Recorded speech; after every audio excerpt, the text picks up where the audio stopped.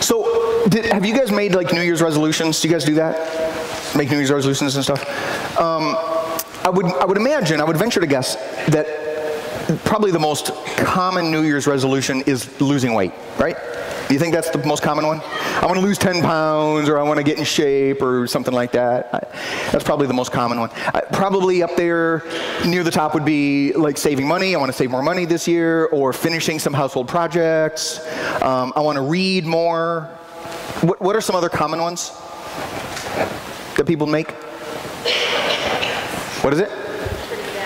Quitting some bad habits is a good one. Are there any other ones? Be better behaved. That's a good one for Mary Jo Plimeter. I'm just, she's the one that brought it up. She's the one that brought it up. You know, it's, it's interesting with New Year's resolutions, you know, um, because not a lot of people make um, formal New Year's resolutions like they used to, and, and I'm like that too. I, it's, been, it's been a couple years since I've made formal New Year's resolutions. But I do have some informal ones, you know, things that I want to work on, um, things that I know I need to, I need to maybe improve. And, and as I think about like changes that I want to see in myself, my brother, my brother Tony is a huge inspiration to me. Uh, my, my brother, six years ago, this weekend ended up in the hospital uh, diagnosed with diabetes. And he made that decision on that day to get healthier. And he lost a ton of weight just by exercising and eating better. I mean, that's all he did is just exercise and eat better. But it's incredible when you look at these pictures of him before um, compared to where he is right now. It's just amazing, you know. So he he inspires me not to lose a ton of weight necessarily, but just to stay active and to use moderation, right? To kind of focus some good habits on, on my physical self. But when I think about when I think about the coming year, I, there's also some things I want to work on on the inside. You know, I, I want to I want to work on on peace within my spirit. I want to work on emotional health um, within my spirit. I want to work on more diligence in my devotions, and and and I know that you probably have a list of other things uh, that I need to be working on too. But I got to start somewhere, so I'm going to start with my list. So that's where I'm going to start. Uh, but you know, it's interesting when you think about the New Year's resolutions, the, the, the benefit of having an informal resolution is that it's really just between me and God, right? I mean, nobody can tell me the pace I need to go, nobody else can set my goals for me. It's just me and God doing that. That's the advantage of having informal resolutions. The disadvantage is that that's exactly why so many of them fail, right? Because nobody knows about them, and so there's no accountability with it. Uh, probably the biggest, I'd say the biggest thing with with New Year's resolutions or, or resolutions in general, the biggest problem is, is theory versus practice. Wanting something to happen as opposed to actually doing something to make it happen. Right? I mean, I, I, that's probably the reason. The reason why so many of us don't make the changes that we want to make in our lives, the reason that so, so many of us don't make the changes we need to make is probably because of comfort. We just kind of we get locked into our schedules and our routines and to break out of that it, man, it's hard. It requires sacrifice. I mean, and we don't want to do that. When my brother decided to make this change, he had sacrificed sugar. He identified sugar as this, this thing that he needed to cut way, way back on. And so he did. But that was a sacrifice for him to do that. And then he saw the results, right? Other people cut back on carbohydrates and they see tremendous results from that. Other people cut salt out and they see great results from that. You know, what? so I look at my diet. I look at my diet right now. To cut out salt or sugar or carbohydrates would be a huge challenge for me because I love those things. You know, could I do it? Could I do it? Probably. Is it worth the cost? See, that's kind of the question, isn't it? Is it worth the cost? What is it going to take for me to see the changes in my life that I want to see? What's it going to take? What is the cost to make those changes? And is it worth it? I mean, that's what I've been kind of thinking about for myself as I look ahead at the coming year. But it's also what I think about when I think about the church. You know, what, what are the changes that I want to see in my life? What are the changes that I want to see in the church? What are those changes going to take? What does it cost to see those changes? And is it worth the cost? Now, I can't change the church. I can't change the church, right? I mean, that's something that we would have to do, and we do that. We do that with the guidance of the Holy Spirit. The Holy Spirit leads that process. In a month, we're going to be having a leadership retreat for our council members. And we're going to look at the church's mission, the church's purpose, what happens to a church when they engage in that mission intentionally, and how does that unleash the Holy Spirit to work within that church. I'm really excited about this coming year. I think some amazing things are going to be happening this coming year. But today, I want us to think about this on a smaller scale. I want us to think about me or you. What does it take to see positive changes in yourself over the coming year. You know, when I think about me, I think about the changes I want to see in myself. And I'm, I'm, thinking especially internal stuff. I'm thinking about spiritual growth. And I'm thinking about developing patience in my life and, and thinking about diligence in my devotions and a more powerful prayer life. When I'm thinking about those things I want to see in my life, I recognize that that means I'm going to have to leave some other things behind. I, am smart enough to see that, right? And that makes sense, doesn't it? Doesn't that make sense? If I'm carrying all the stuff that I'm carrying right now in my life, if I'm carrying all that stuff, I'm going to need to let go of some of it if I see the need for change, right? That makes sense? But, I mean, that's kind of the starting point for all of us, isn't it? Do we see the need for change? When you look at yourself, when you look at your own life, do you see the need for some change there? Do you see the need for growth? Do you see yourself as a work in progress? Do you see yourself as not done yet? Still needing some, still needing some growth. Do you see the need for change? Because if we don't see the need for change, we're just not going to do anything different at all. Look with me at a, at a passage in Scripture, Mark chapter 1, if you, if you brought a Bible with you. Um, if you didn't bring a Bible, you could use, uh, there's ones in front of you, or you could use your phone or something too. This, this will be in the back, near the back of the Bible, in the New Testament. Mark chapter 1. Um, Mark is one of the Gospels. There's four Gospels Matthew, Mark, Luke, and John. The Gospels tell us the story of Jesus' life, and they talk about his miracles and the teachings, and really, really good to stay in the Gospels, stay in the story of Jesus. So, Mark, it's commonly understood that Mark was the earliest of the Gospels to be written down. And uh, interestingly, Mark was, is one of the Gospels that does not tell us the story of Jesus' birth. He doesn't talk about that at all. Matthew and Luke talk about that, but Mark picks up at the beginning of Jesus' public ministry. So Jesus is 30 years old when Mark, Mark picks up. And so the first thing that we see in Mark is John the Baptist announcing Jesus coming, and then Jesus gets baptized, and then he gets tested by the devil. And, and that's what's happened in Mark 1 so far. And then this is what happens right after that. So we're looking at verse 16. This is it's really short. This is what it says. One day, as Jesus was walking along the shore of the Sea of Galilee, he saw Simon and his brother Andrew throwing a net into the water, for they fished for a living. Jesus called out to them, Come follow me, and I will show you how to fish for people. And they left their nets at once and followed him. A little farther up the shore, Jesus saw Zebedee's sons, James and John, in a boat repairing their nets. He called them at once, and they also followed him, leaving their father Zebedee in the boat with the hired men.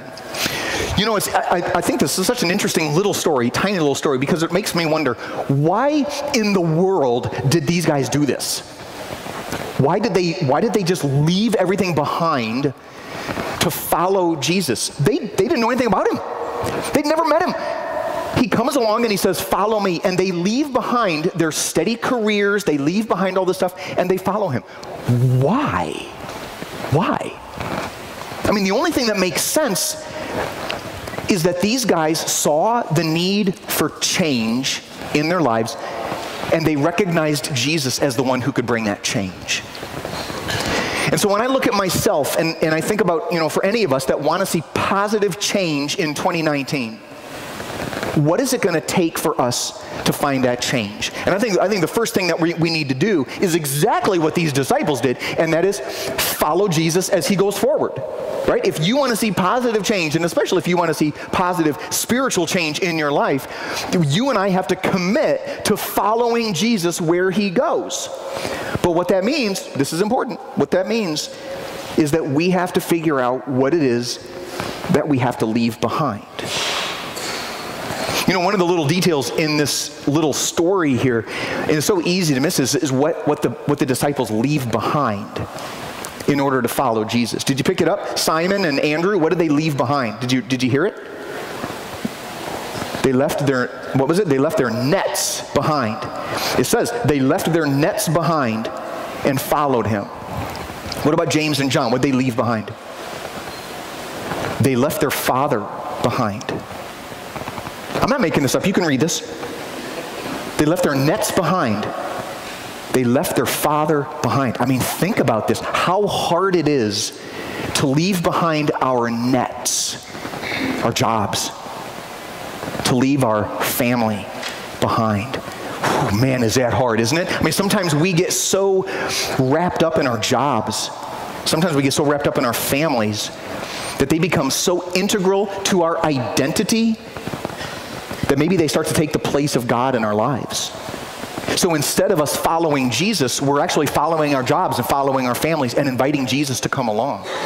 So for some of us, I wonder if maybe we need to look at this and leave, leave our jobs and leave our families in a sense. I'm not, I'm not telling you to leave your family, but understand their role in your life understand the role of your job in your life. And what that means is you follow Jesus. And so if your job and your family have too big of a place, if that's if they're taking the place of God, you need to redefine that in your life. You need to redefine that. But for some of us, that's not us, right? Some of us, we have a good balance of that. But some of, for some of us, it might be something else. What do you need to leave behind in your life? Is it some equality inside that's just got a hold on you? Is it, is it anger this year that's just had a hold on you? Is it lust? Is it, is it laziness? Is it like a reliance on something like drugs or alcohol or needing the approval of others? You know, what, what is it that you need to leave behind? Because we all have baggage. We all have got this baggage. And sometimes we just get so used to carrying all this baggage that it becomes really hard to see around it. We can't see where Jesus is leading, so we know how to follow him. And so, if you want to see positive change in your life this year, the first thing you got to do is figure out what you're going to leave behind. What are you going to leave behind? What do you have to drop if you're going to follow Jesus more closely this year. Now, sometimes that it doesn't mean dropping it completely, right? Sometimes it just means cutting back on something or redefining it, like family or like, like our job. But there are some things that you may need to leave completely behind. And you got to wrestle with that. I mean, you, it's going to be different for all of us. You got to wrestle with that, and it's going to be it's going to be hard. But honestly, at the end of this year, at the end of 2019, if you're still carrying all the same stuff that you're carrying right now, if you haven't left anything unhealthy behind, you're probably not going to see positive change, right? Does that make sense? So think about what it is that is keeping you from being who God is calling you to be. What is keeping you from that? What do you need to leave behind? Is it greed? Is it selfishness? Is it, is it pride? What do you need to leave behind? The second thing that, that we need to do if we want to have healthy growth this year is we need to have a way to measure our progress. And this is, this is just to make sure that we're, that we're staying on the right path, right? Again, it's, it's theory versus practice. It's having good intentions versus doing things to actually help those things happen, right? Because at some point, it's not enough to just want there to be change in your life. It's not enough for that. You, at some point, you're going to have to let go of some of the unhealthy things. And when the temptation arises to pick those things back up, to say the wrong thing, to do the wrong thing, you, you have to be ready to say, no, that is not who I am anymore. That's not who I want to be anymore. Those things may have been a part of my past, but I'm leaving those, I'm leaving those behind. So when do you evaluate how you're doing on this? When do you reflect on your direction and how you're doing? When do you do that? For me, it's in the morning. I do that in my morning devotions. I mean, that's my time when it's quiet. I can read scripture and I can pray and I can think back. And I do this. I think back on the day before. And then what, what did I do yesterday that helped me grow spiritually? What did I do that reflected the heart of, of Christ? What did I do that helped me represent Him? And where did I drop the ball? I mean, there were thing, a lot of things that I didn't do well. What were those things and why did that happen? What can I do to make an adjustment as I go forward for the next day? So when I'm sitting there in the morning doing my devotions, that's the perfect time for me. But maybe it's a different. Maybe at nighttime is better for you. Before you go to bed, you can reflect back on the day to think about what went well and what needs to be changed for tomorrow. Maybe it's Sunday before worship. I, I, you know, whenever. That's not doesn't matter what time it is, right? What matters is if you don't have a time if you don't have any time to reflect on how you're doing in your growth, it's so easy for our good intentions to just stay good intentions. Just this desire of what we want to happen at some point in life, but to make excuses along the way and never actually make any change at all. So set a little time aside. Set a little time aside on a regular basis just to just to figure out how am I doing and what do I need to adjust as I go. So you got to think about it. I mean, when you want positive change, you think about what do you need to leave behind? How are you going to measure your progress? The third thing that, that you're going to need to do this year is you need to set your expectations reasonably. This is important. I mean, nobody here is going to be able to master a change immediately. So don't think that you can do that. And don't think that you're going to fail. And don't think that you're expected not to. You know, nobody likes to fail, right? I mean, none of us like to drop the ball, especially when there's a change in us that we really, really want to see and we know that we need to see. Nobody wants to fail. But guys, if you beat yourself up every time you drop the ball, if you chastise yourself over and over every time you say the wrong thing or do the wrong thing or think the wrong thought, if you do that over and over, you're going to give up on these changes and just decide that it's not for you. Don't do that. Be gracious with yourself. I mean, you got to understand, and I think we know this here, that when you make a decision to create positive change in your life, when you make a concerted effort to follow Jesus more closely, you, you're going to make some enemies. You're going to make enemies because people don't want you to change your priorities. When you make a concerted effort for positive, healthy change in your life, you're going to tick some people off. You're going to tick the devil off. So you can expect some pushback. You can expect it. When you drop the ball, when you fall, and you will, don't beat yourself up. Just make a decision. Next time, I'm not going to do that. Make an adjustment when you evaluate and realign yourself with God's plan and his, his attitude towards you.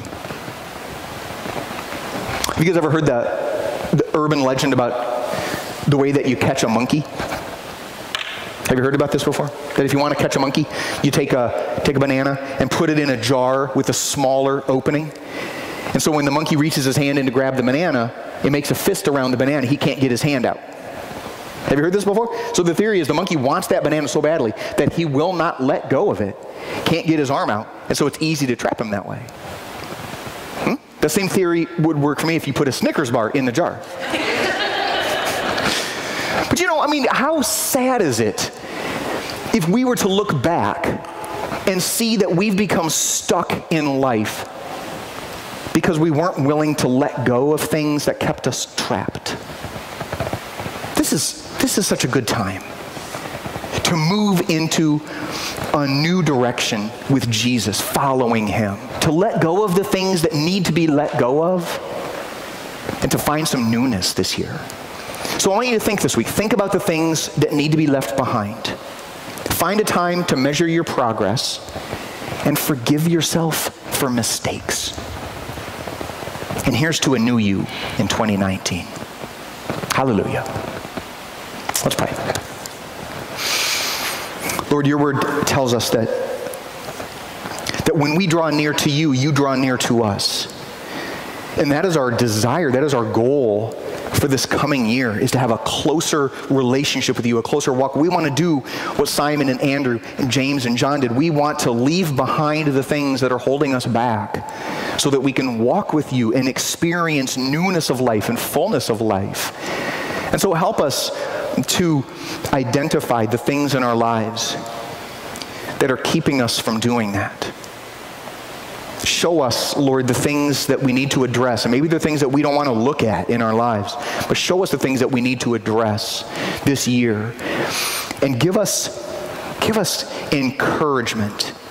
Give us support and give us grace as we slowly leave those things behind so that we can follow you. Lead us and guide us and love us day by day as we commit ourselves to you. And we pray this in Jesus' name. Amen.